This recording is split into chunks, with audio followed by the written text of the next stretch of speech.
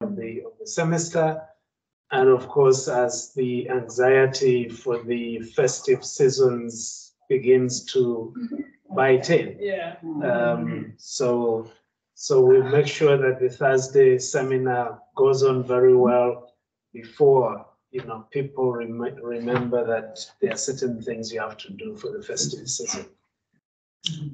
Um, two announcements. Today, again in the afternoon, uh, evening at 17 hours, we'll have a book launch by our fellow Sandra Swart on the Lion's Historian, Africa's Animal Past, by um, um, uh, part of the work that she did when she was in residence here, which unfortunately I'll miss uh, because I have to attend a meeting in Cape Town as a peer reviewer for the Lancet Commission report on adolescent um, health. So that conversation is still going on. So I'm supposed to make some comments on that report that now is out, not yet for circulation, but I hope that after uh, the Cape Town meeting, uh, it will be for circulation. And I'm sure that Linda will be very interested in looking at what uh, the Lancet Commission is saying after 2016, I think that was the last one. But I'll make it back in time to make sure that I'm here for the Thursday, uh, 7th December seminar, uh, our last one by Ham Anton uh, on, on, on, uh, on Thursday on plastics for good. And he has already started making sure that you're all going to be here by the Yes. chocolates. that he has. Uh, And that will be in the manor house. So let me ask uh, Pierre to come and introduce Kristian.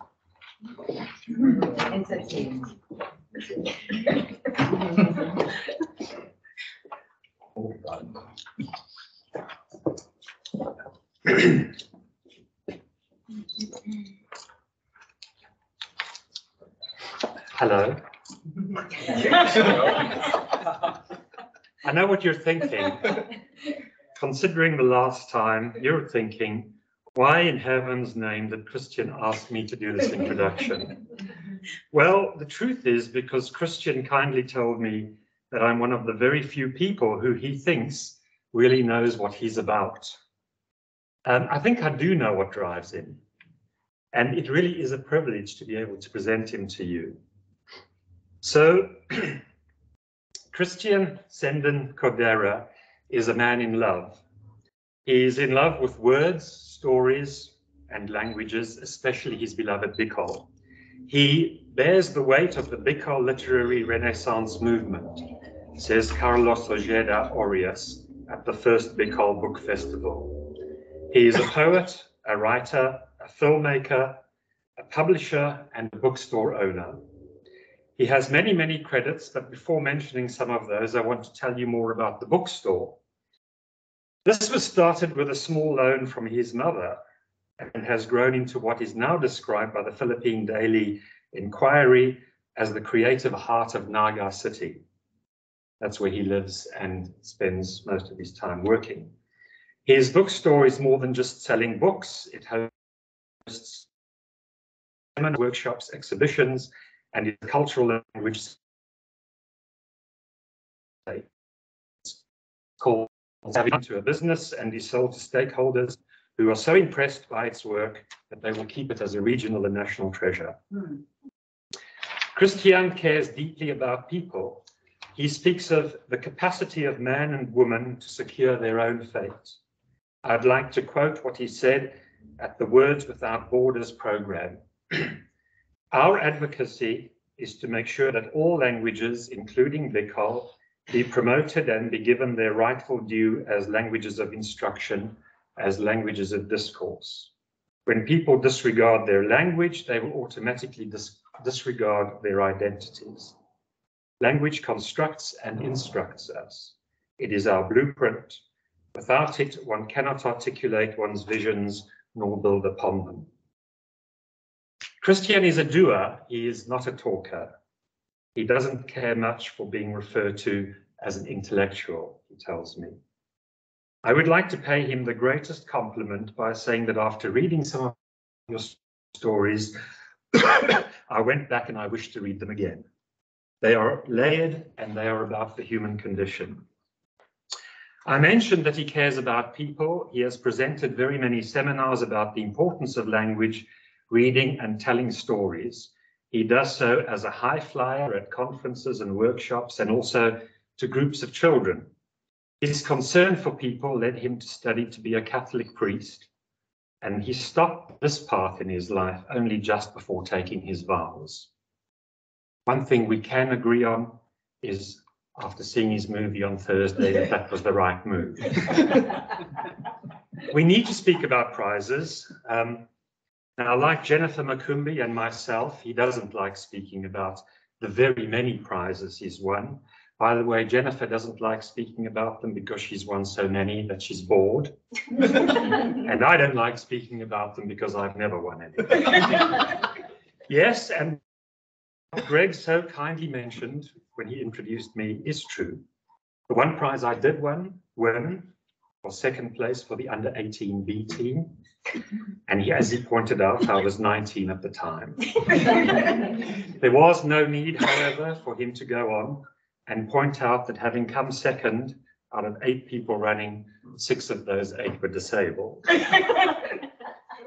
no, seriously, here at STIAS, we like talking about prizes maybe not as much as Carlos does. Kristian has won many prizes. The one I wish to mention is that he is the youngest recipient of the Southeast Asian Writers Award. And there are a lot, lot of people in Southeast Asia. From a selfish perspective, I have been very lucky to meet him.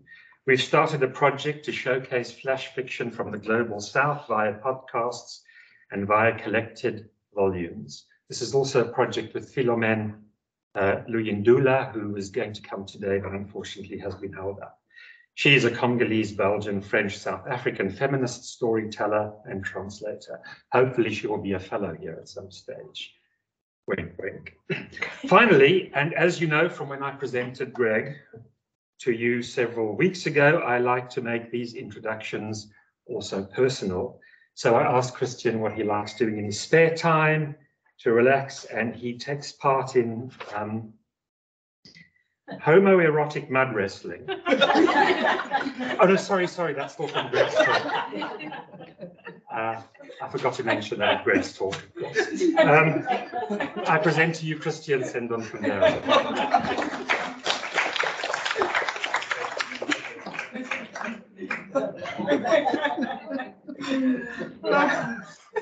Thank you, Pierre. Uh, good morning, everyone. Magandang hapon. Marhay na daw to our friends in the Philippines. I thank you all. I thank you all for attending this public presentation and special thank you to the novelist Ubah Cristina Farah and to the STIAS for inviting me to this creative space for the mind and the heart. Boundless is my gratitude. Last Thursday, some of you graciously honored me by attending the screening of our first film, Angustia, which had its first premiere 10 years ago. And I thank you all for the level of engagement you have shown, which I hope will be continued today as I share with you some of my thoughts as I embark towards this new stage of my life, a vita nova, a term which I re-encountered in the works of Roland Barthes, the preparation of a novel. During my graduate school, I first read Barthes in English translation, and I have been haunted by its melancholic meanderings and reflections on photography, on mourning, and on love. His thoughts on raptures that exist between signs and meanings have been with me, particularly in the context of my work as a translator and as a filmmaker translation and filmmaking are both rapturous experimentations of crossings and recognizing and recognizing that one does not write for the other. How do you move this now? One does not write for the other. To know that these things that I'm going to write will never cause me to be loved by the one I love, the other. To know that writing compensates for nothing, sublimates nothing. That is precisely there where you are not. This is the beginning of writing. I do not know if I completely understand or agree with Barthes on this, but something in his ideas seduces me and makes me think with all my digressions and confessions that I would be making now that I am about to begin my new writing. So please bear and be with me. In coming to Stellenbosch last August 27, I arrived with anxiety because of the hostile and cold weather aggravated my situation that I had to monitor my blood pressure and back home I must deal with the other issues in the university press and in the bookshop plus the other commit commitments I have made. But as days progress and the season changes, I have gradually discovered the warmth of spring in the many friendships and informal dialogues I have made with you all. And since I am a great believer of serendipity, I particularly remember the first three lectures by Greg, Peter, and Pierre on time, water, and debt in that particular order. And these have partially made sense to me as I reflect on my own creative projects, which I have happily conceived here in this most ancient continent. During my stay here, I have decided to want to write a quartet, which will be named Pag-asa, which stands as an acronym for the main government weather bureau in the Philippines. It is also our word for hope. What and why about hope? In her book, The Singular Pilgrim Travels on Sacred Ground, Rosemary Mahoney writes, Hope has always struck me as the most tender of human emotions. It has no guarantee. It requires bravery. It makes the soul vulnerable. And when dashed, it can inflict the gravest of wounds. In his poem, Voy a hablar de la esperanza, I am going to talk about hope. The Peruvian poet Cesar Vallejo made no mention of the word hope except for the title. Instead, in the poem, one hears repeatedly the words suffering and pain, purely and singularly, which on hindsight, Vallejo is suggesting that the dolorous is parallel to the experience of hope. That if they put it in a dark room, it would give no light. And if they put it in a bright room, it would cast no shadow. In Philippine history, Andres Bonifacio, who led the secret society that, architected the Filipino-Spanish Revolution of 1896 and who distinguished himself as a fine poet in Tagalog, chose a guerre that is ironically rooted in the word hope. Bonifacio chose May pag-asa, which means there is hope credited as the father of this first anti-colonial uprising in that part of the world, Bonifacio would die not in the hands of the enemies. Tragically, he and his brother were sentenced to death by his fellow Filipinos. In wanting to write this tetralogy, I am also aware of the fact that the other novelists whose works I have long admired have produced their manuscripts in extremely different and desperate situations, resorting to writing stories in toilet papers, and were or are constantly persecuted by their government. This is far, far different from the experience that I have here in STIAS. I have in mind the novelist Pramoedya Ananta Toer of Indonesia and Ngugi wa Thiong'o, Kenya, persecuted and banned, the works of these two novelists are constant sources of radical hope, that articulates the harrowing experiences of colonialism and colonialism. The two novelists I have mentioned have also made the decision to write in their local languages, Gikuyu and Bahasa, something that I plan to do in this project. In the Philippines, the medic Jose Rizal, considered as our foremost national hero, also wrote novels, Noli Me Tangere and El Filibusterismo, respectively. Noli and Fili, as they are popularly referred, is a diptych that exposes the many ills of Philippine colonial society, lorded over by abusive European priors and spineless Spanish civil officials. Deemed a dangerous man, Rizal was executed in 1896 after a very speedy trial. These novels of Rizal, which were also banned during his time, are now required readings in both public and Catholic educational institutions, making it a burden and a curse to many of our generation. Instead of discovering these novels like a forbidden fruit in the garden, which could have given us the sheer pleasure of discovery, since 1956, after the approval of Rizal Bill, we are made to study these novels alongside with his life and works, and have taken these literary works like a bitter pill to cure us and make us our and make us understand our history. By reading and studying his life and his novels, it is hoped that in Rizal we will discover the secrets to become better Filipinos. The result is far different from expected. Why write a novel or novels then? The easy answer would be Rizal himself as the inspiration. He whose long shadow of influence is cast upon many Filipino novelists who have sought to reform our societies by subscribing to the power of the written word. Like novel writing, the nation is an attractive and noble idea that gives us some solidity, a result that comes from a procedural narrative, the epic, or what is the sum total probing existential questions that drive community to signify and distinguish itself. But let me digress from here. Following the lecture of our colleague Ingrid, who articulated her ideas on the lived world, let me recount to you mine.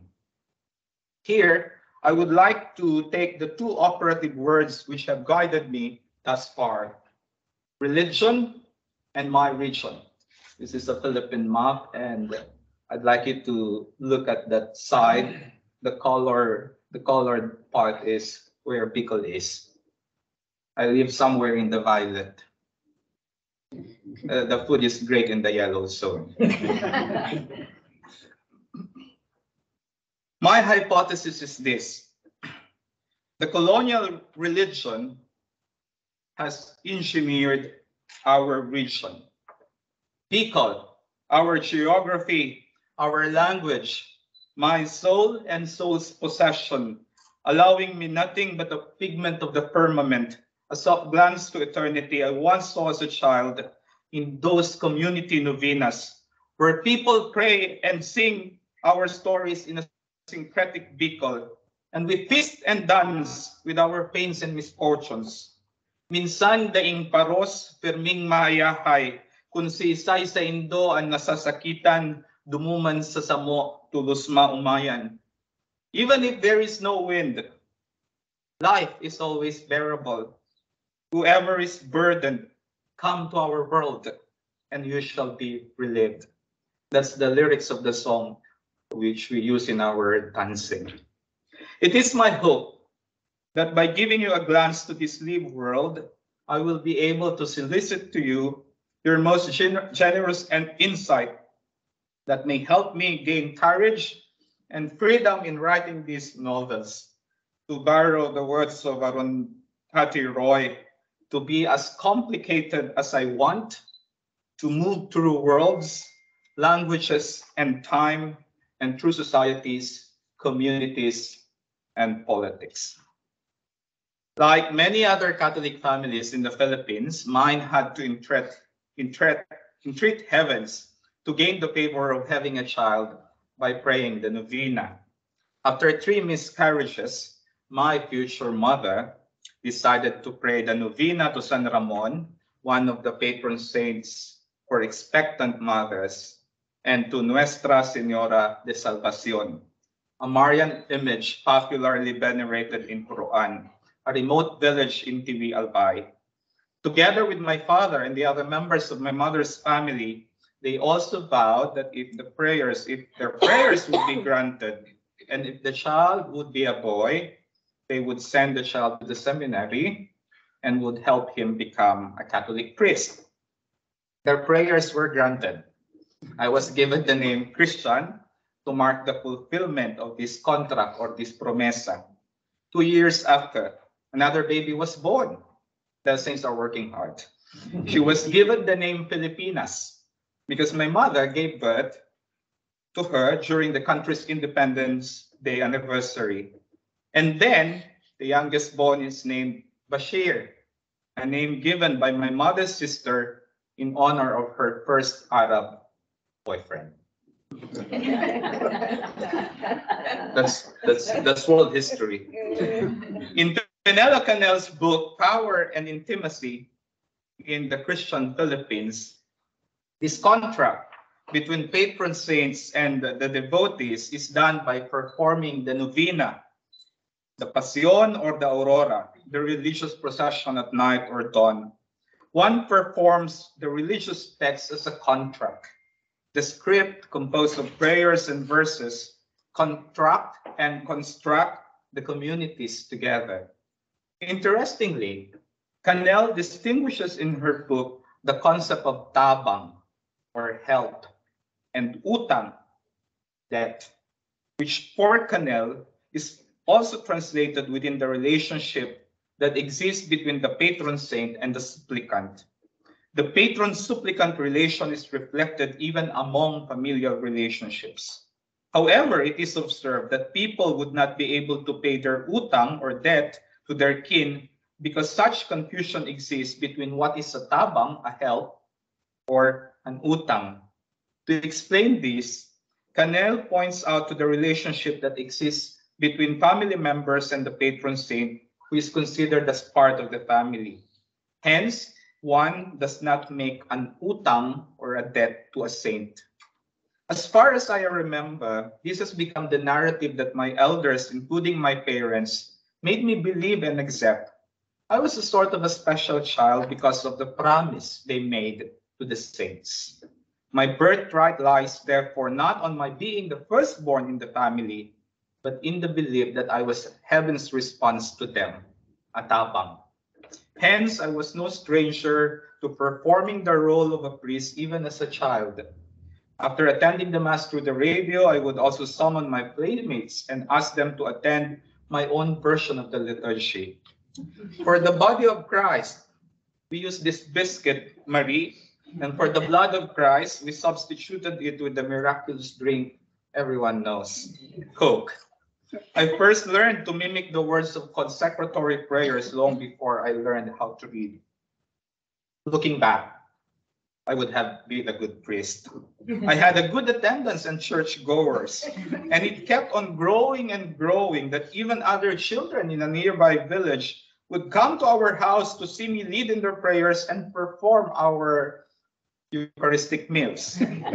I remember that my parents allowed me to do this role playing, this performance, until things have to be stopped at certain point because expenses I have incurred is already beyond the budget of the family. I don't do collection. the biscuits and the coke are items for sale in the sari-sari store of my mother. But there was no direct prohibition from my parents lest I get discouraged and may even turn rebellious. One Sunday, my parents brought me to the church and together with so many people unknown to me, we attended my first Sunday Mass. It was an event to remember. I felt at that time that I was seeing His kingdom come on earth. There were more images of the saints gloriously martyred and petrified on the side of the altars, all bedecked with flowers and burning scented candles. But the solemnity is tempered by the other events happening simultaneously outside, outside the church as other people were doing their businesses. Indeed, there is a very thin line that separates the, spiritual to the practical. The ice cream vendor ringing his bell to call the attention of his potential clients while an altar boy unceremoniously rings his bell during the benediction. Outside, there was also the pink cotton candy, seductively soft and tastier than the sacred host.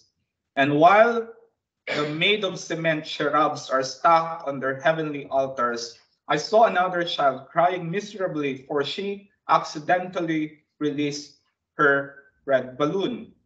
I saw how her mother tried to pinch her. To appease the child, the father decided to call the itinerant photography photographer. One, two, three, smile. The camera captured and pacified the moment. In that busy churchyard of provincial city, of a provincial city, I would discover the novenas, these little booklets written in three languages, the standard Bicol, the national language, that is Tagalog, and the more universal language, English. Sold alongside with amorphous shapes, with candles of amorphous shapes and religious medals that are popularly known as anting-anting or ar, amulets. These were, there were other reading materials which later on I would realize are not really religious readings, but more of a secular kind, a booklet of dreams, for instance, and their assigned meanings. This is called prognostico. Folktales, adventure stories, and mini almanacs, and even Bicol translations of Romeo and Juliet, Othello, Macbeth, among others. Later on, I would discover the printer of these novenas, which continue to exist until today. The novenas produced by Cecilio Press. This is the name of the printing press. Serve, which serve as my first reading materials. After the mass, if this budget, if his budget permits, my father will buy me a novena to a saint. I would easily learn and memorize the life stories and miracles attributed to these particular saints, and of course, the effectiveness of their prayers addressed to them in case of needs. This is the time you have to listen to me very closely. For snakes and other wild animals, you go to San Benito. For dog attacks, you go to San Roque or Santiago if the other one is busy. For stomach aches, Santa Teresa de Avila. For toothaches, Santa Apollonia. And for lost things, uh, this is the busiest of all, San Antonio de Padua. of the novenas I collected, I particularly remember the Litania para sa aking sadang, litany for the unborn children. The litania contains the usual intercessory prayers. But what is most striking in this booklet is the valediction of the unborn child. Praying the litania, I was made to feel indebted and connected to the other siblings I never had a chance to know. They instantly became our heavenly protectors. They can aid us like guardian angels. I remember visiting and lighting a candle in a Catholic cemetery in the home province of my father in Pampanga, where my supposed eldest brother was buried, who is named Pedro, and the other one who is buried in the barangay chapel, who is named Juan, and then the third one believed, to have been devoured by an aswang, a nightly creature said to attack pregnant women and sick people. It was after the third miscarriage that my parents decided to seek for the intercession of the saints and made the vow that the male firstborn child would become a priest. I was about to enter the primary school when we started praying again a novena for my mother. This time, not for pregnancy. This time to Saint Raphael, the patron saint of travelers. My mother was bound for Qatar. She had signed a two-year contract she would work as a domestic helper, a katabang, to a Muslim family. When my mother left us for abroad, my grandmother took care of us while my father continued to work in a government agency. Later on, he would work as a security guard in a shipping company in the United States. So growing up with my, this time, now with my grandmother, who was also the folk healer and midwife of our community, introduced me further to the many things that would later inform my poetics. While my parents worked outside the country, my grandmother made many pilgrimages to renew her healing powers. In these visitas, small shrines of popular devotion to Amang Hinulid, Inang Salvacion, and San Vicente Ferrer, she would renew her vows and gathered her blessed coconut oil. Many times I would also accompany her when she had to visit her parents and perform the act of Santiguar, a contraction of Santo Agua or holy water, which is loosely translated in some texts in English as some kind of exorcism. However, the striking difference in Santiguar is there is no acknowledgement of the devil's participation. Satan does not appear in Santiguar if he, they probably belong to another realm. My grandmother's patients were notably calm, unlike those that have been possessed and cinematically reenacted. In the world of Pagsasantiguar, no one is considered an evil adversary. Instead, the patients are considered to be the guilty trespassers and hence are advised to restore what he or she has violated by offering food for these spirits or by offering masses for the dead. Here's a video of my grandmother doing the Santiguar.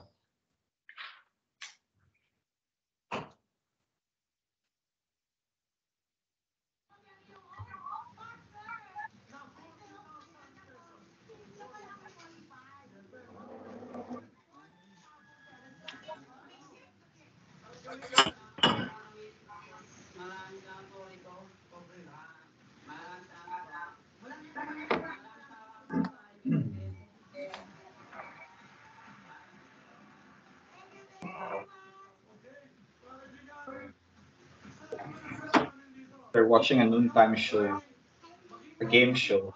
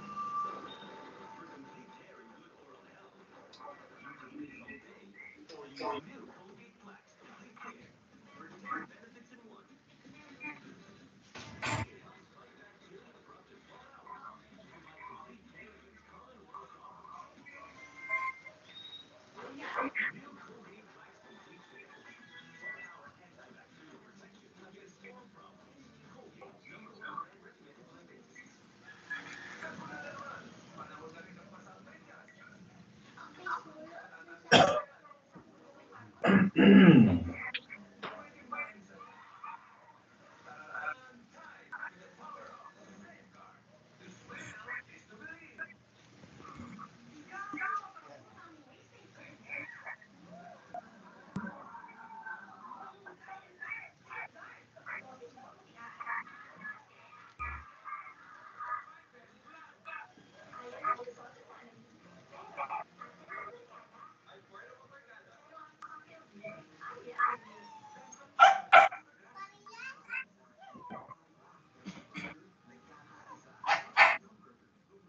That's the dog.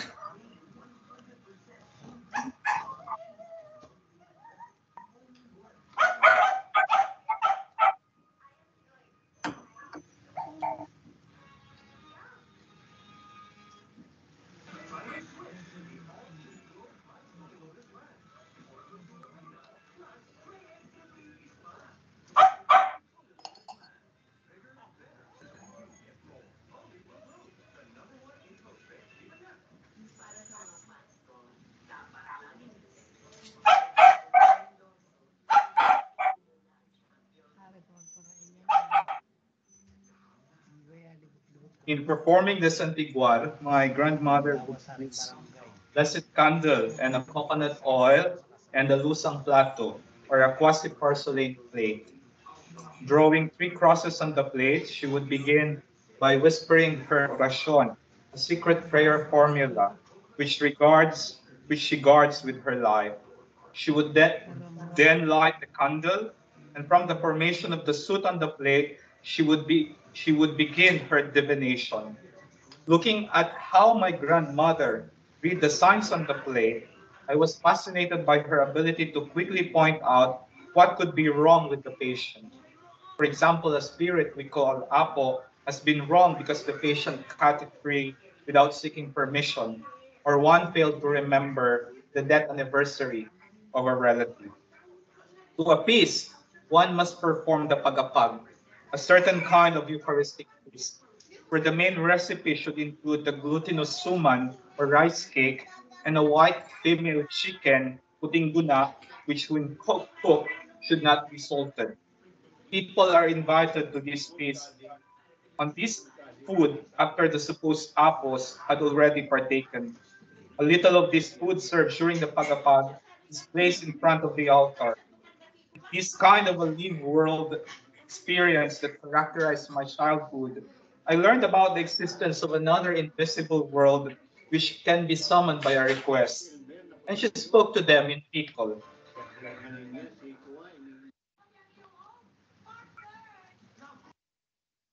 Soon people took notice of my novena collection. I was sort of a wonder child as I can talk about the lives and miracles of these saints. This was in the 90s when we had a major volcanic eruption in my father's home province. There were also earthquakes and typhoons in the news, and many Marian apparitions have also been reported. During this time of high religious fervor, I have become a parapanganam together with two older women who happen to be friends of my grandmother.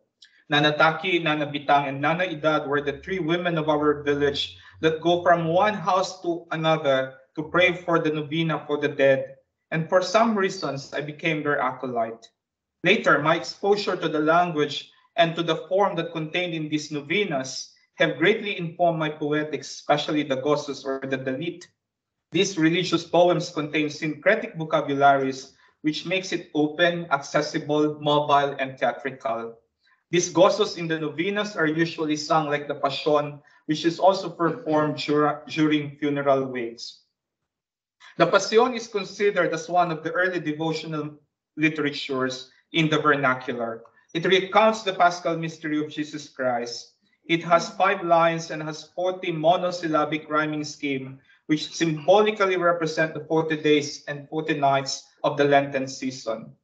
Reynaldo Ileto offers a textual analysis of the same passion and correlates it with the Filipino Revolution of 1896 up to the uprisings initiated by the millenarian movements who fought against American colonization. For Ileto, the Passion provided an, provided an ethos for the indigenous Catholic population to situate and emancipate from the oppressive colonial experience, framing it within the redemptive value of Christ's sacrifice on the cross. The narrative of the cross does not end, however, on the Good Friday, for it bears its fruits and rewards and fulfills the promise of a new world order. There is a new day of Easter, a new revolution that is as inevitable as the resurrection of Christ.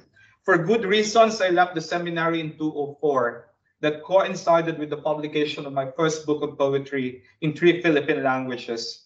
In 2011, my grandmother passed on and joined the world of the invisible. And in myology, I took note of the fact that being the midwife to my mother, she was my first human contact. And those hands that pulled me out of this world graciously agreed to serve as the cover for my second book entitled Santiguar, released in 2006, which I also dedicated to her. She was grinning when during one of those book launchings, some people have also sought her to autograph their copies after learning it is her hands that covers the book. In 2013, I published two poetry collections. The first one is "La Labi. I decided to leave it stress mark free so people can read it the way they want. "La Labi it will mean lips. "La Labi, it remains, it means remains or carcass. Here, I have continued these religious reckonings by revelwating and reformulating a new set of parables of the whale, who's about the whale who swallowed the prophet, about the crow who failed to do his mission to return to Noah's ark, among others. I also wrote about biblical sites like the Babylon, Babel, Canaan, and Jerusalem, and turned them into Italo-Calvino cities, and filled them with characters whose physical bodies and imagined geographies are drawn and maligned by fear and trembling caused by oppressive religious ontologies. The other collection is Canticos, apat na boses, Canticles, four voices.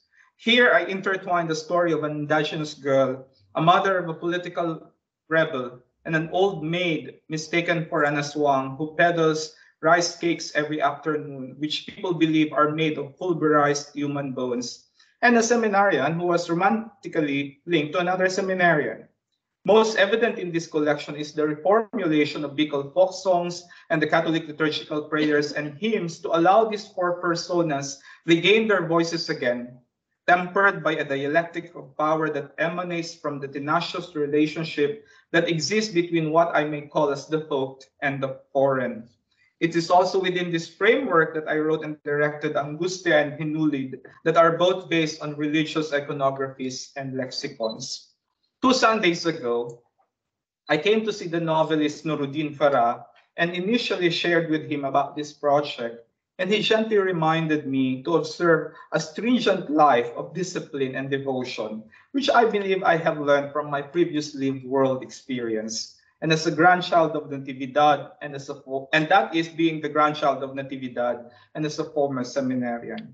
The novenary here, therefore, comes becomes a kind of structure a mode of preparation, an act of hopeful anticipation that pays attention to my agency as a creative writer. As I am wanting to write this novel in Bicol, it is important for me to return, to trace and locate the history of this language and support my claim that it is indeed an engineered language operated by a Catholic, colonial, and complex, complex structures of power. But this does not mean that this power structure was not unflawed. In fact, in the book Counter Hispanization of the Colonial Philippines by Jean Blanco, he cited that certain rulings and arrangement between the Spanish crown and the Roman Catholic Church have made it difficult for the missionary and the local ordinary and the civil officials to work in the same direction of people's evangelization. Oftentimes, religious missionaries would not obey their local bishops citing the exclusive rights given by the Pope to the religious missionaries who are acting as the main actors in the mission frontiers. The kind of ruling is preserved in what has become an idiomatic expression. Utos ng hari, hindi mababali kahit ng hari. A friar's order cannot be questioned even by the king. With the publication of the dictionary, this is the first Bicol dictionary over there. In 1754, reprinted in 1865, and a grammar book published in 1795. In this language, they separate from the other indigenous groups like the Tagalog and the Visayas. I would like to build a novelistic world of this region I call as my place of my birth. But aside from these lexicographical, lexicographical and textual meanings of the words, I am particularly interested in paying attention to sounds to the sounds, to the articulation and speech, and how these words were traded and negotiated in the context of performing the auricular, the auricular confession.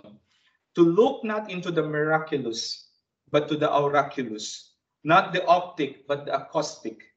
How did the colonial authorities, in particular the friar missionaries, made sense of the different idiolects present in colonial Bicol? If the confession is seen as an instrument of surveillance, of discipline and punishment, an all-seeing eye, a panopticon in this, in this project, I would like to shift my attention to the ears and tongues. I shall investigate how sounds and words were used and abused to govern and rule in the same manner that the same language and apparatus were used as a counter defense of the indigenous population. The counter defense is best articulated in many of our folk tales and trickster stories. One story I would like to cite is about a friar who upon arriving in a new assignment wanted to test his community. He summoned the people to gather in the church, and when the congregation arrived, the friar called a man named Juan to test the latter's catechetical knowledge. The friar took a crucifix from his pocket and asked Juan if he knows the one who is hanging on the cross. Juan obviously does not recognize the man on the cross, asked the friar instead. Father, I know nothing about this. Would you please let me know who is this poor Spaniard and what crime did he commit to deserve such terrible punishment? Tentatively entitled Auricula, I am interested to create a soundscape, a world of sounds out of the Confessionario or the Manual of Confession written in Bicol by the Franciscan friar Pedro de Avila. In this world, we find the sound of bells and booming homilies delivered from the pulpits as the Panacousticon, the whole, the all-hearing and all-talking God. For this project, I benefited from an essay written by Filipino historian Vicente Rafael, particularly his essay entitled Confession, Conversion, and Reciprocity in Early Tagalog Colonial Society. Lurid in its inquiries, allow me to show you a part of the Rafael essay that provides the English translation of the Tagalog Confessionario. This is some kind of a guide questions. There is an English translation. So this is some of the questions under the sixth commandment and the question number 373. And did something dirty come out of your body? Question three, uh, yeah, number 374. And did you and did you cause her to emit something dirty too? How many times did you play around in this manner? For example, within a week. And how many times did each of you have an emission? Because not only is this a sin, indeed, it is a very serious sin. Aside from all this, I also suspect that every time you saw her or thought of her, you also lusted for her. Wasn't this the case? And because of your lust, did you do anything to your body, any kind of lewdness? And did your body emit something dirty? Like the Tagalog Confessionario, the Bicol Confessionario is bilingual, Bicol and Spanish. In another edition of, manual, of the Manual for Confession, according to Blanco, the translation of Sixth Commandment has been translated imprecisely as not, do not commit adultery. The translation became, do not commit excessive adultery. These catalogs of sins and confession practices, according to Jeremy Tambling, have produced people as subjects with the need to narrate and lay bare the secret of their lives and to define themselves in relation to their own presumed normal sexuality. By inducting themselves into this auricular confession, I argue that the Bicos have found a new way to historicize and fictionalize their identities as active agents in subtle and overt ways of opposition to colonial structures. Reading the Confessionario in Bicol, these are the these were the things that I have been doing there, and uh, I was thankful that uh, one of our colleagues could help me navigate in the Spanish text, Carlos. I have located several gaps and fissures in the question and answer structure, which have become an ideal space for me to cultivate the novel I wish to inscribe within the source text. I am also interested to examine the idea how auricular confession inaugurated a new kind of liminality and orality among the indigenous population. And since it's also it also functions as a script, the confession box is also a theatrical space where sparring roles had to be acted out. Here is an example from the first commandment that covers the sin against idolatry, which briefly ended up with a question on augury. Tuminubod ka sa paghunin tibaad ng gamgam, Oho, Padre, nakasaruan pagtubod ko, ta ako magagadana ako. Did you believe in the song of the evil bird? Yes, Father, once I believed in it because I thought I was going to die. This is interesting, considering that one of the Bicol's famous love songs is entitled Sarong Bangi or a Nocturna uh, Sonata is about a person who mistook the voice of his beloved to that of a night bird. Noted in Bicol, in the Bicol's Manual of Confession, is the special emphasis on drunkenness. These are the sins of Bicol. Our people's penchant to gambling and cockfighting and extramarital relationships and other sorts of things. These similar themes can be found in our folk songs and folk stories as well. In terms of form and the use of language and experimentation, I am deeply challenged by this project considering that this would mean that I would have to reckon and weigh in my decision to write and observe two orthographies of the Bicol language. I still have to decide on this, but this alone is enough for me to give this a shot, it, and it certainly gives me a kind of excitement, closer to an epiphany that I once felt after I got to read Alejandro Zambra's Multiple Choice. That's the book, this, this one, this novel by Zambra. The Chilean novelist parodied the government aptitude test required among Chilean students. By reading and choosing your own answers, you as readers become co-creators of your own little stories found in the various combinations you make as you answer these multiple choices. With the government that dictates you to subscribe to these formulaic formulations that measure you and survey you, you ask the question after going through the novel, if we really do have a choice out of these multiple choices. A Filipino story entitled Horoscope by Eli Rueda Guerre achieves this similar effect by using the daily horoscopes, which, which usually appears in popular tabloids, as the structure of the storytelling that connects all 12 astronomical signs to a particular network of entangled and conflicted relationships. So Aries and Taurus, uh, all those things. For the sake of time, I will skip a thorough discussion about the second and third novels that I wish to write. But let me share with you two impetus that made me decide to include these historical periods in my agenda. The impetus for the second novel is another book published in 1915 entitled Francisco, the Filipino by Burton M. Little, a formerly American principal of the provincial school in Albay. The province of Albay was also the center of the rise and fall of the abaca trade industry in the early 20th century. The social historian Norman Owen described this period in our history as the age of prosperity without progress. The third novel will highlight the horrible years of the Pacific War, which gave us the word collaborator, meaning allied with the Japanese. Now, in a restaurant in Naga, known for its Filipino-Spanish cuisine, is a huge mural of a woman dressed in a typical Maria Clara fashion. Named Soledad, very few people know that this woman in that restaurant was one of those who were killed, who was killed with the Japanese.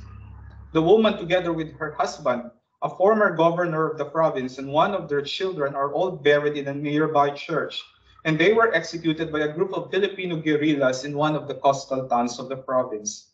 The said governor was suspected to be a Spanish collaborator. This planned quartet, which begins in the confessionary box, will culminate with the advent and the rise of the radio in the same provincial town.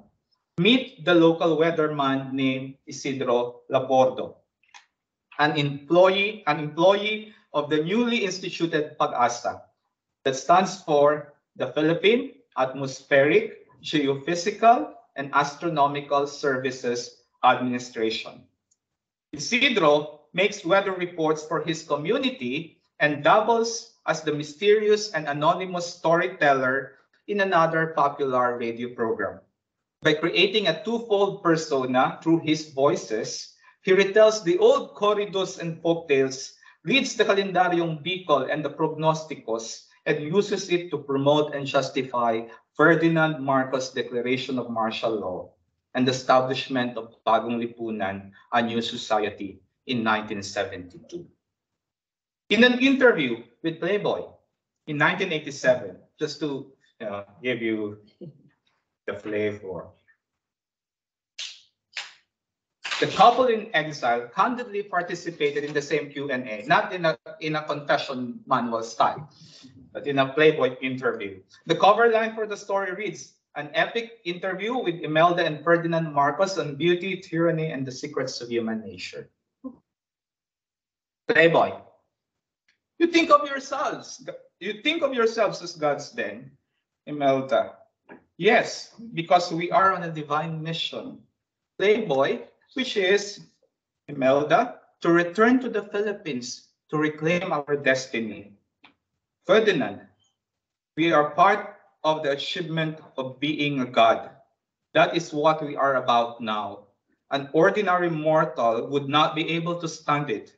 All of our statements now have to prove that we have not gone back to being ordinary mortals. Imelda, and even if we fail, Ferdinand will fall as martyrs for the cause, will fall with honor.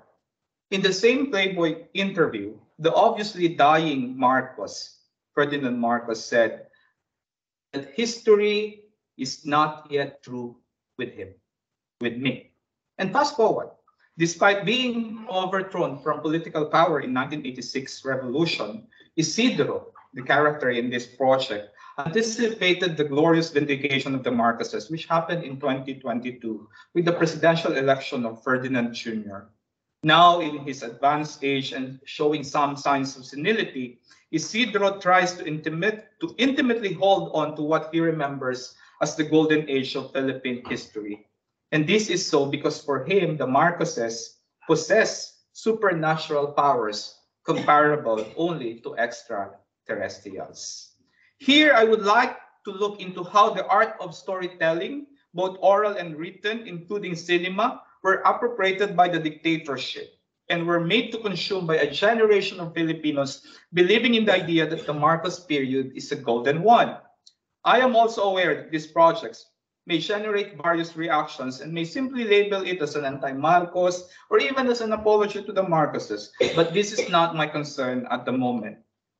Let me show you what I managed to take notes so far in relation to this project.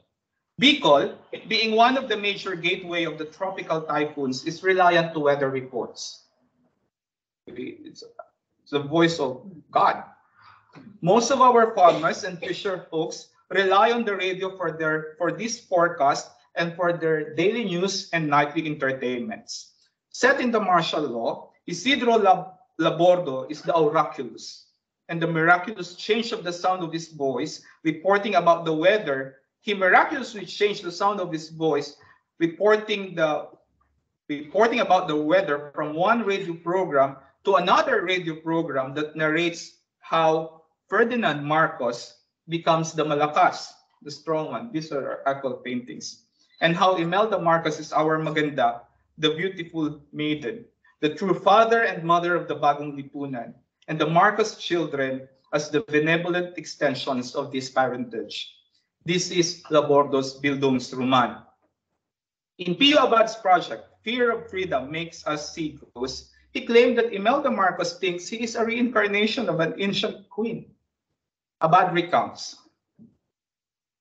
In an autobiography published in 1980, Imelda recounts the events following her assassination attempt in 1972 when a man named Carlito Dimailig lunged at her with a bolo knife during an awarding ceremony, lacerating her, her arms and hands. While recuperating in the hospital, she had a vision of the ancient queen, like a guess, Semiramis, leading a huge crowd praying for her recovery and invoking her to rejoin the stream of life. Imelda would later reveal that prior to this incident, an Indian mystic had once told her that she was the incarnation of Semiramis, the Assyrian queen who became a ruler of the vast Neo-Assyrian Empire following the death of her husband, Shamshi Adad V. A painting commissioned by Imelda to commemorate this revelation mistakenly depicts Semiramis as another ancient ruler, the Egyptian queen Nefertiti. An error that was never rectified nor explained. End quote. The Marcoses also appropriated religious narratives to their own myth making, be it the Santo Niño or Our Lady of you know, there are so many Our Ladies in the Philippines. In playing syncretic, they consulted psychics and numerologists to support their legitimacy to power. In a previous essay I wrote about the loss and finding of Our Lady of Peña Francia, fondly called by the Bicolanos as our ina, our mother, I highlighted the role of Imelda Marcos when she donated a substitute image of the ina, and many claim that the image she donated resembled like her. With a character like Isidro, who is a true-blooded Marcos loyalist, I imagine him as a new Panacousticon. He provides an alternative universe of the Marcosian propaganda of the true, the good, and the beautiful by highlighting the moral values like the utang na buot or a debt of gratitude, a practice of endless reciprocity which according to Vicente Rafael finds its inception in the devotional materials produced during the Spanish colonial period. Here, I would like to illustrate how Isidro creates his own intimate life in relation to the Marcoses. In the last of the quartet, I return to the same image of the confessionary box, now turned into a radio studio as a site of surveillance and controlling apparatus. But the radio is also our sumbungan, a site for communal forum, where one may wash the dirty linens. It is through the radio that we lodge our complaints and reports of uses. It is through the radio that we get to listen to the latest updates, the herbal medicines, the gossips about showbiz celebrities and politicians, public announcement, marriage bans, obituaries, our almanac of our daily lives ad infinitum. Today, the radio remains as powerful as the pulpit in shaping public opinions and standards or the lack of it. So in this novel, I would like to architect a chapter that will enable people to track, to read the radio or the stories about the radio. But what about extraterrestrials? Unlike the Hollywood imaginary, unlike in the Hollywood imaginary where aliens coming from large spaceships would frequently attack the same lane of coffee shops in New York, in this provincial small town, it's the golden apple snails that will take the center stage. An invasive species introduced during the Marcos regime to serve as an alternative source of protein for Filipino farmers. Imelda thought of even exporting the same snails to France. She was even seen in television extolling its virtues and enjoying the escargot, but no amount of propaganda can save the whole damn thing from invading the whole country. Mm-hmm. Imelda can only consume quite a small of quite a few of the snails that if not mitigated, it is the snails that can actually literally eat the whole country. Mm-hmm. The farcical story of the golden apple snails continues to be a major threat to Filipino farmers up to today. It is the golden menace, not the golden age. Native to South America, where it is not considered a chronic pest, it was introduced in the Philippines in 1982, and it has proliferated widely from the rice terraces in the north up to the high islands in the Visayas and, and in Mindanao. According to a report by Bridget Anderson. These snails are described as voracious eaters of rice, the Filipino staple food, and as it is a good eater, it is also an indefatigable breeder. In one year, one snail will commonly produce 15,000 offspring. Oh Despite their large size, the snails can survive very crowded situations. They have two breathing organs, a, fill, a, a gill and a lung that is attached to a three-inch snorkel-like tube. Day and night, they move in search of food to satisfy their phenomenal appetites. Hmm. An infestation of snail can destroy a field of newly planted rice overnight. Reports from the Department of Agriculture consider these snails as major rice pests causing greater damage than locusts green leaf hoppers or rice tungro virus. In a report from the USAID, it is estimated that around 800,000 hectares of rice land were infested with the snails out of the 3 million hectares planted with rice in the Philippines. How to turn these scientific reports, these interviews with Playboy, and these historical and archival materials into a tapestry of stories that people can access is the challenge that I have imposed upon myself. Mm-hmm. I find some meanings in the fact that months after martial law declared, by Marcos Sr. Months after he declared martial law, she al- he also enacted laws creating the Cultural Center, a National Grain Institute, and the PAGASA. All on December 11, 1972. These presidential decrees, policies, laws, be it the manual or conf- of confession or the official gazettes, are narratives or storylines that should be subjected to our reading, to our annotations, to our writing. These are materials that, in- that can inform my own fiction writing. This is a way of writing back, somehow. And by inserting and imagining the Bicol language from an active source of energy, of agency, I, the writer, the creative, who is conscious of the fact that in writing about this fictive world where the Marcoses are considered as spectral presences, we hold and carry on, we behold them in their stories and their lives, for they are our own mirror that reflect our failures, our monstrosities. In one of the conversations I had with our resident novelist, Jennifer, birthday Jen, I was drawn by her insight on this notion of monstrosity and how we take on our lives and carry within us a sense of right history that easily puts us on the side of truth and justice. But how do we account for people like Isidro? Is this the banality of evil, Pumla? And indeed, who will be responsible for these monstrosities? These grand mythical narratives about this family who have claimed themselves as our destinies.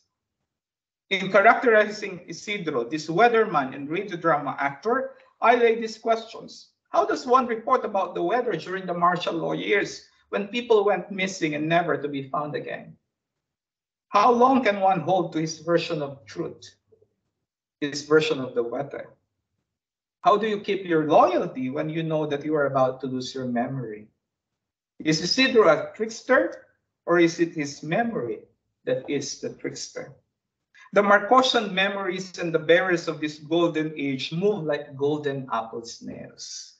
They seem slow, but the stage of our country's political dramas after the Pacific War has always been characterized and dominated by the narratives of this man from the north, Ferdinand, his wife from the south, Imelda, and their families now scattered in our political structures again.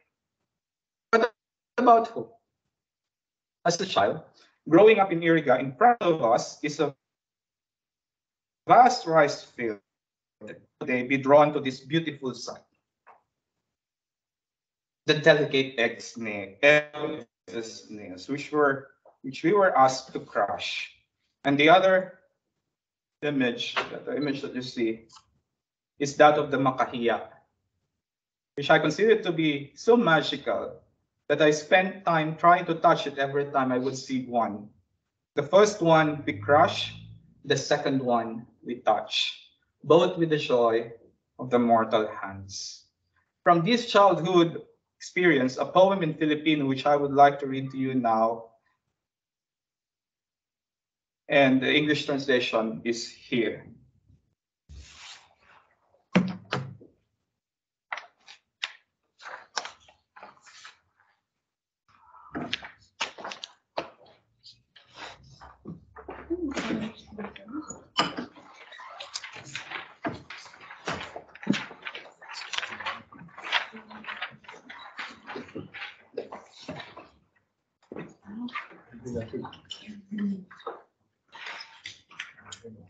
Sapagkat daliri.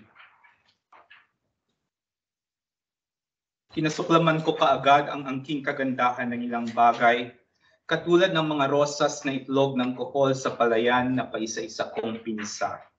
Nakakatakot ang kanilang pagdami at dahil noon pa man inasam ko na balang araw, makakakita ako ng mga kaluluwa o kaya'y pulutong ng mga anghel ng kohol na mag-aalsa ng digmaan laban sa akin. Ngunit malamang walang itinitira ang aking, ang kanilang kamatayang aking kaloob. Walang silbi ang kahit anumang labi, walang halaga ang kahit anumang labis, walang bertud sa aking pagmamalabis. Ganoon pa man, pinaghandaan ko pa rin ang sandaling pakikipagtuos sa inaakalang hukbo. Kung kaya tinipong ko ang mga tinik ng makahiya na sa unang pagkakataon ay inakala kong isang halamang hayop. Nakakaramdam at nagkukuyom ang mga ito sa bawat paggantay at noon ko ay pinagpalagay na may taglayngang kapangyarihan ng aking mga daliri na kaya ring maging aso, ibon at kuneho ng anino nito. Simula noon, kinilala ko isa-isa ang aking mga daliri. Ginawa ko silang mga kawal ng nagbabadyang digmaan. Ipinagbawal ko ang pagpitas ng kahit anong bulaklak, lalo na ang namumukadkad sa tuwing alas 12 ng tanghali. Itinuro sa intuturo na hindi lahat ng dapat ay maaari mariing tinanggihan ang singsing na magtatali sa akin sa isang inaalok na pag-ibig. Bawal ang pagkulay sa kanilang mga kuko at sa halip ginawa ko itong mga buto, mga kalasag. Tinuruan ko silang ituring ang bawat isa bilang kapantay, walang hinlalaki, walang hiniliit. Ngunit labis na tinik ang nalikom ng aking mga daliri. At ngayon sa huling sandali ng pakikipagtunggali, bigla itong nagkuyom isang patay na kamao, semento. Kung mamarapatin mong buksan ang aking palad, dahan-dahanin lamang maraang isa-isahin ang mga daliri na parang nagbubunot ng mga talulot. Pakiusap, baka sumugat ang mga tinik ng makaya at mapisa ang ilang mga nalalabing rosas ng itlog. Tanging ito na lamang ang mga huling bihag.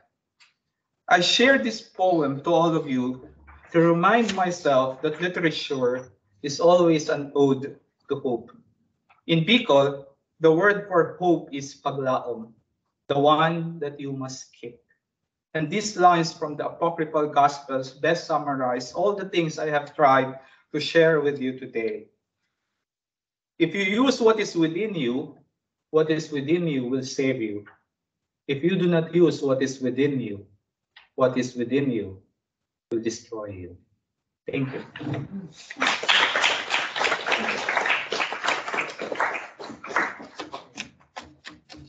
Thank you, Kristian, for uh, uh, giving us a glimpse of this extraordinary uh, tapestry, as you call it, that you're weaving, uh, all the different strands.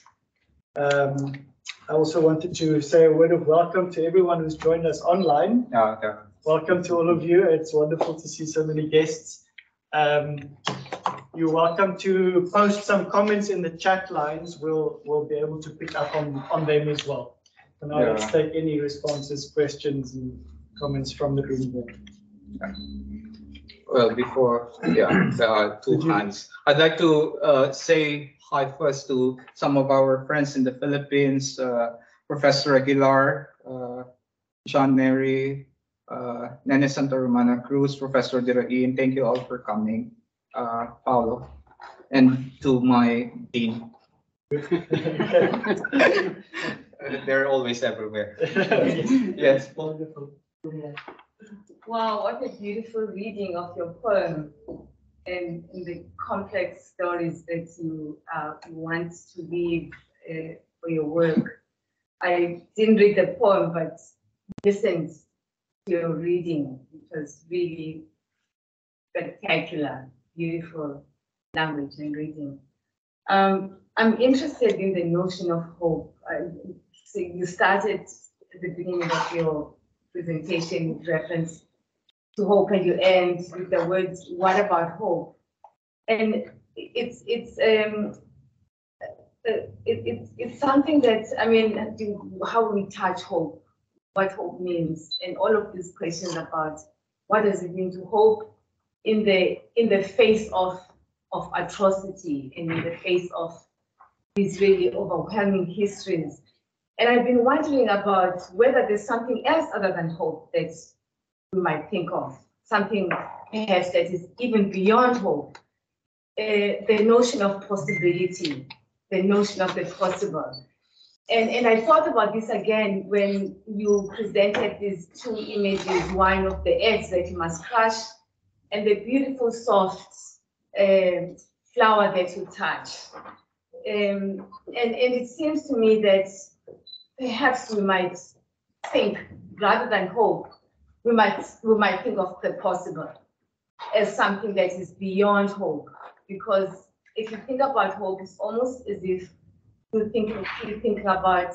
I mean, hope kind of gets you stuck in a way because it's almost like something that's happening tomorrow. You're hoping it's going to happen tomorrow, or you're hoping it's going to happen whenever. And yet, when you think about it as the possible, it keeps it open. It keeps that idea of the possible open. And, and so again, when you speak about something inside of you as something that will issue out the possible, it makes me think more about this idea of the possible, which it seems to me is beyond hope. Yeah. What do you think? Yeah, there's a beautiful prayer by Michelle Icott that goes like, Lord, give us possibilities. That's that's the prayer. Give us possibilities. And I, I, I agree with you when we think of hope, we think of I, I I think of you know this this ordinary folks. They, they hope that the weather will be fine tomorrow. That kind of hoping that the weather will be fine tomorrow is something that I would like to articulate in the sense that in the context of the Bicolanos, this everyday life is usually usually no one takes notice of this everyday life, this everyday resistance, this this this little intimacies that may actually find us some some possible stories that uh, that would not just see things as if this is black, this is white. That that is what I'm trying to avoid mm. here. I'm I'm touching a I'm touching a very sensitive character. I know that. You know, this this man that I am inventing in my head, this is Isidro Laborde. Goodness gracious, why did I even think of this? Will will what what what would we how do we deal with this man who uses science, his little science, to to to serve the dictatorship, but at the same time, something something in in in the in the in the in that universe will make you will will attract you to to him, will make you understand his his reasons for for believing that this is the golden age. I, I, I'm I'm weighing all these options, so maybe because of this kind of uh, we call it in the Philippines alanganin. The word is alanganin. This this this positionality. I'd like to go back into the past and see how did we come to this kind of living, this kind of living our lives. And I'm I'm finding it in the in the period of colonial experience. In the Philippines, when we say about colonialism, it's not as very strong as what you have here in Africa. I mean, yes, we were colonized by the Span, the, the by Spain and America and the Japanese, but I still have to see what does that mean to be colonized when you know you have the Catholic Church being there and you have the America, the, the English, your education being there. I think our colleague Charlie here also shared this kind of, of, of a project with you. So yeah, we'll see. We'll hope. Yes, happy birthday, Jen. Jennifer. Hi, uh, thank you very much for your, uh, presentation, it was wonderful. And we're so happy to hear that you're planning to write your novel in your first language. Yes. Um, yeah, so I have quite a lot of questions, but I'm only going to ask Go. one unless I get. It's your another- birthday, be gentle. Ah, you're not giving me the chance. You might regret it. So, uh, but first of all, I want to take you to the novelistic action, you know, the actual writing of the novel. So you've given us what you're intending to do and what has informed it. Yes. Mhm. Now, I'd like you to talk about a little bit about the actual writing of a novel. So, who is your main character? Mhm. What is the story? I know you gave us a bit of the uh, the setting where the story is going to take, that is your home. Mhm. But uh, I would have liked to hear that uh, this is a story of, of a man or a woman or whoever. And this is what happens today. You know, whatever has formed in your mind here, Mhm. I know, and also because you really don't know what is what this character, who he is or what he is. is going to surprise you, and the story is going to change a lot. But it would have been good for you and for us to hear bits of that. Yeah, uh, well, there are easy routes in, in deciding that this will be the characters that I'm going to, to have, at least for, for, for the first novel, that will be Kula. I'm, I still have to do a lot of readings, I still have to do a lot of, uh, research. But I, the, the easy route would be to put the character of Pedro Avila, who is responsible for writing that confessionario.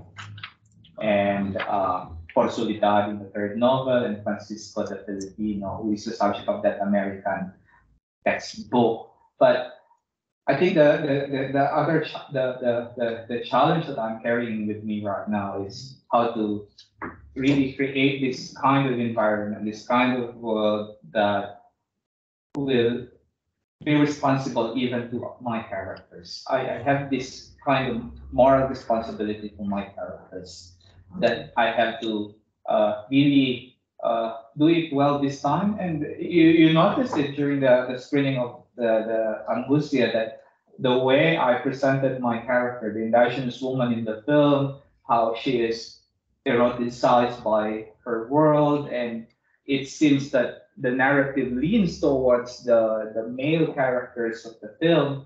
I um I thank you for, for pointing that out because that is the kind of of light that I need at this point.